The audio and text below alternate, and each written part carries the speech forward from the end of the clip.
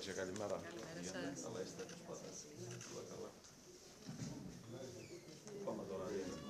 Καλημέρα σας. Καλημέρα, καλημέρα. Ναι. Αντιμετωπίζουμε κάποια θέματα. Πιστεύουμε όμως ότι η καλή θέληση όλων θα ξεπεράσουμε αυτά. Σιγά σιγά θα μπορούμε να προσφέρουμε ένα... Το κέντρο υγείας στο σπήλι υπολειτουργεί, διότι ένα μέρος των κτηριακών υποδομών έχουν κριθεί ακατάλληλες.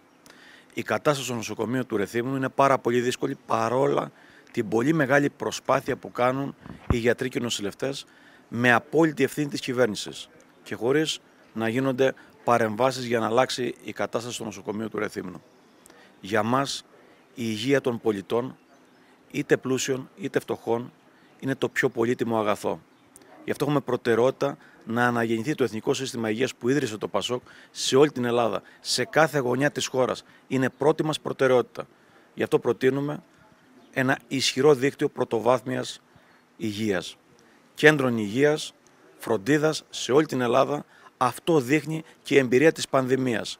Πρέπει να υπάρχει ένα δεκαετές σχέδιο που θα δεχτεί αυτό, αυτή η υποδομή οριζόντια παντού στη χώρα. Και βέβαια μόνιμο προσωπικό γιατρών και νοσηλευτών.